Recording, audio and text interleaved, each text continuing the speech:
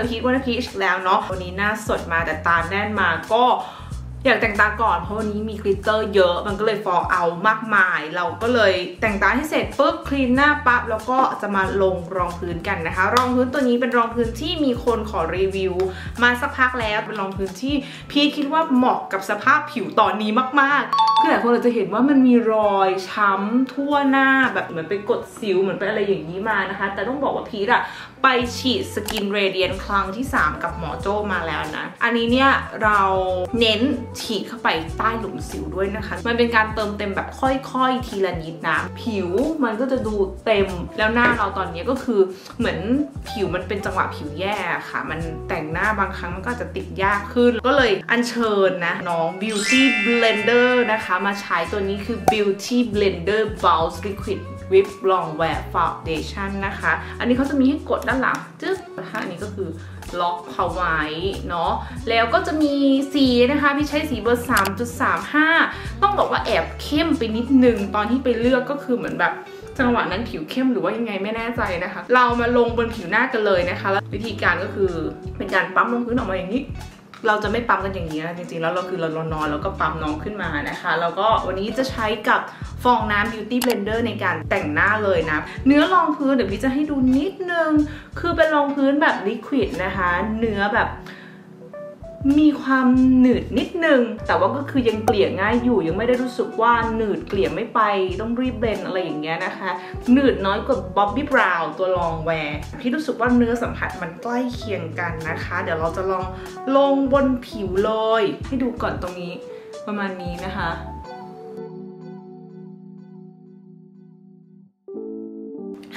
ลืมกดอัดฮัลโหล sorry นี่นะคะ เราก็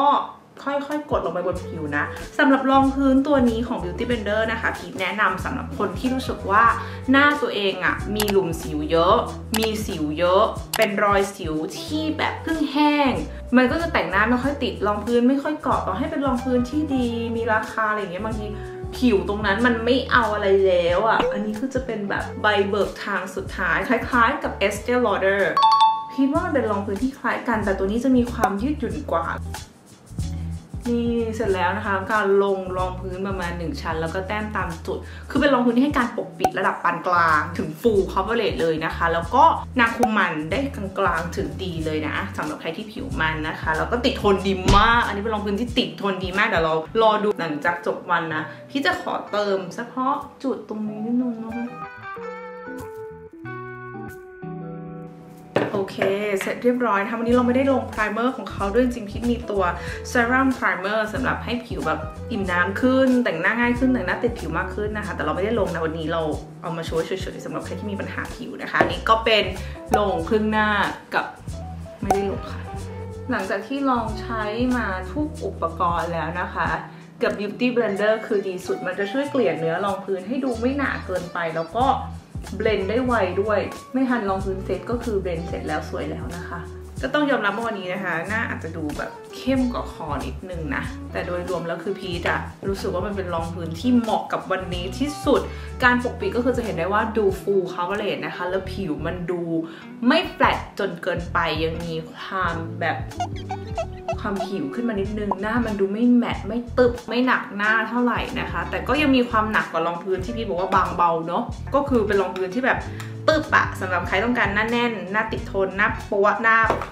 ปัง เดี๋ยวขอไปจัดเต็มให้ทุกอย่างมันดูเข้ากับรองพื้นก่อนนะคะ แล้วก็เดี๋ยวเรามา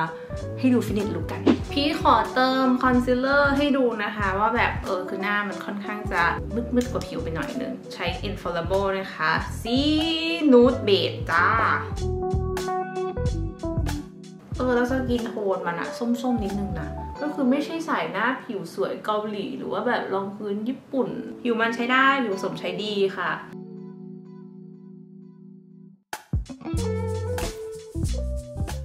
ลงคอนทัวร์หน่อยหนึ่งอันนี้ของ NYX นะคะ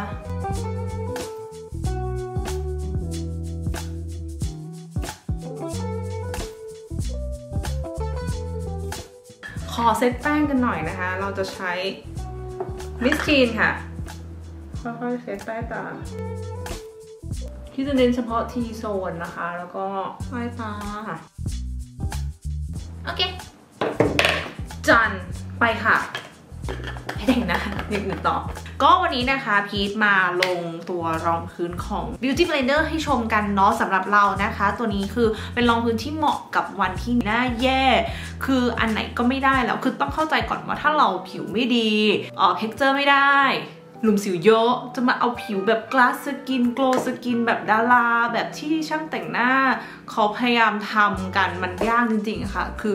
เออถ้า texture หน้าเราไม่ดี เอาให้แน่นไปก่อน แล้วค่อยมาจัดการเรื่องสีสันหรือว่าเรื่องมิติของหน้านะคะ คือต้องการการปกปิด ต้องการความยืดหยุ่น ต้องการอะไรที่มันแบบสามารถที่จะเกาะกับผิวได้นะคะ ตัวนี้คือติดทนมากๆจริงๆ แต่ว่าพูดไปก็อาจจะหาว่าอวย หรือว่าแบบรับเงินมาหรือเปล่าอะไรอย่างงี้ใช่ไหมเดี๋ยวเราค่อยกลับมาชมกันนะคะว่าหลังจากนี้นั้นตัวนี้จะเป็นยังไงบ้างนะคะ ก็เดี๋ยวได้ละน้องเคพร้อม มีน้องเคด้วยอ พร้อมแล้ว ไปงานข้างนอกกันดีกว่าค่ะ นี่ค่ะกลับมาเช็คหน้ากันนะคะ หลังจากออมาออกอีเวนต์เนาะตอนนี้ก็ประมาณแบบบ่ายสามแล้วนะคะ หน้าก็มีความมันเกิดขึ้นแหละแต่ทุกอย่างก็คือยังแน่นดีอยู่นะนี่ผ่านไปประมาณ 3 ชั่วโมงแล้วนะคะพี่ว่ามันมันน้อยนะ ถ้าเทียบกับสภาพอากาศและการนั่งวินมอเตอร์ไซค์มานะคะ ก็ประมาณนี้เลย หลังจากเราซับหน้าไปแล้วนะคะ ตอนนี้ก็ไม่ได้ซับหน้าอีกเลยกำลังจะนั่ง BTS ไปอีกงานหนึ่ง ตอนนี้ก็มางานแล้วล่ะ แต่ว่าก็จะไปอีกงานหนึ่งนะคะ ก็ให้ดูหน้าแบบ no filter กล้องหน้า ชัดๆ ประมาณนี้นะคะ ผิวยังดีอยู่เลย ยังแน่นตึบแล้วก็มันน้อยนะคะ ตรงนี้ผิวมันแบบผิวแย่มากๆอะแต่รองพื้นยังไม่หลุดยังไม่ไป ยังพออยู่ อะ เช็คหน้าประมาณนี้นะคะ ในเวลานี้ที่บอกสามล้อผิด ลงผิดซอย ต้องมาเดิน ย้อนกลับไป กลับมาแล้วนะคะวันนี้ก็มาเช็คหน้าครั้งสุดท้ายนะคะ ก็เวลาขณะนี้คือ4ี่ทุ่มสามสิบห้าแต่ไม่อยากให้ทุกคนเห็นแบบภาพหน้าจอเลยเวลาสี่ทุ่มสามสิบห้าเปิดให้ใครดูทุกคนก็ตกใจนะคะ เรามาให้ดูผิวหน้าของเราตอนนี้นะคะ ขออภัยที่ไปติดกิตตรงกิตเตอร์อะไรปุ๊กปิ๊กไรสาระแบบนี้นะคะ พี่จะซูมหน้าให้ดูนิดนึงนะคะ แล้ววันเนี้ยกินแอลกอฮอล์อีกแล้วค่ะ ฉันไม่ควรที่จะรีวิวรองพื้นค่ะที่กินแอลกอฮอล์จริงๆนะคะก็เรามาสรุปสั้นๆง่ายๆนะคะตอนนี้รองพื้นมันยังตึบหน้าอยู่แต่ว่าก็เกิดความมันขึ้นมาแล้วนะคะนี้เราซับหน้าไปหนึ่งครั้งทวนตั้งแต่ 11 โมงจนถึง 3 ทุ่มตอนนี้ก็เป็นเวลาเที่ยงไปสองไปสามสี่ห้าหกเจ็ดแปดเก้าสิบ ทั้งหมด 11 ชั่วโมงนะคะ ที่รองพื้นอยู่บนหน้าของเรา เดี๋ยวพีทจะซับหน้าให้ดูอีกหนึ่งครั้งนะคะ ให้ดูว่าแบบหลังจากซับหน้าแล้วหน้าจะเป็นยังไงเนาะอ๋อมีคนถามถึงกระดาษซับมันที่พี่ใช้นะคะใช้ของทัชชานะคะทัชชาทัชชาน้ำมันเลยค่ะชวบแต่วันนี้คือผจญภัยหนักกว่า วันที่ใช้ชิสเตอร์โดอีกค่ะ วันนี้คือพีทต้องขึ้นรถไฟฟ้า ขึ้นรถตุ๊ก ขึ้น มอเตอร์ไซค์ก็คือใช้ชีวิตแบบ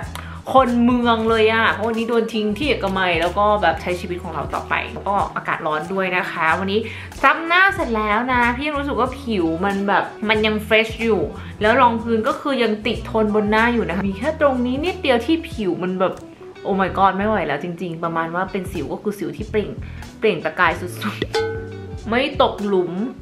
ใด ๆ บนหน้านะคะ มีเป็นค่าบเมื่อกี้เพราะว่าเอามือไปเกา แต่ว่าโดยรวมแล้วรู้สึกว่าทางหน้ารองพื้นมันยังดีอยู่นะคะ รองพื้นตัวนี้ตัว beauty blender bounce liquid whip long wear foundation นะคะ อันนี้เป็นรองพื้นที่เหมาะสำหรับคนที่ผิวหน้าเยิน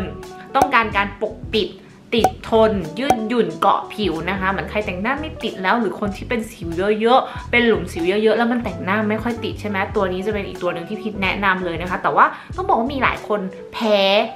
น้องเขานะคะก็ ยังไงอาจจะต้องไปลองเทสที่เคาน์เตอร์ก่อน เพราะว่าจริงๆ มันก็เป็นเคาน์เตอร์ใน Sephora เราก็ test ยังไงก็ได้ clean หน้าเรา test ตรงนั้นเลยก็ได้นะคะ รองพื้นตัวนี้ pigment สีค่อนข้างเข้มนะคะทำให้เรารู้สึกว่าหน้ามันอาจจะแบบดูทึบๆ นิดนึง แต่ว่าเฉดสีมีเยอะมากเยอะมากๆจริงๆนะคะ ก็สามารถเลือกได้ตั้งแต่ผิวขาวยันผิวเข้มเนาะเป็นรองพื้นที่ติดทน ดีมากๆนะคะ ใครต้องการติดทนรับปริญญาได้แน่นอนเอาอยู่นะคะอาจจะเรื่องของความมันพี่ว่าเป็นรองพื้นที่คุมมันได้โอเคเลยนะคะ ดีกว่าตัวชิเซโดที่เพิ่งรีวิวไปเนาะสำหรับใครที่เป็นสายผิวมันแล้วก็เออหน้ามันไม่เยิ้มหน้ามันดูแบบไม่ไม่เละง่ายอะไรอย่างเงี้ยคือตัวนี้ก็เป็นอีกตัวหนึงที่น่าสนใจนะ อาจจะต้องซับมันบ้างแหละค่ะ เพราะว่าซับมันเสร็จแล้วอะผิวมันก็กลับมาแบบ เฟรชแล้วก็โอเคเลยนะคะ ถามว่าผิวสวยไหมผิวไม่ได้แย่ ไม่ได้ทึบ ไม่ได้หม่นมอง ไม่ได้รู้สึกว่าหน้าแฟลตแต่อย่างใดนะคะ แต่มันก็ไม่ได้รู้สึกว่าผิวดูสวยดูละมุนเป็นงานผิวงานบิวบิว beauty อะไรอย่างเงี้ยไม่ได้ขนาดนั้นนะคะ ก็จะเป็นรองพื้นที่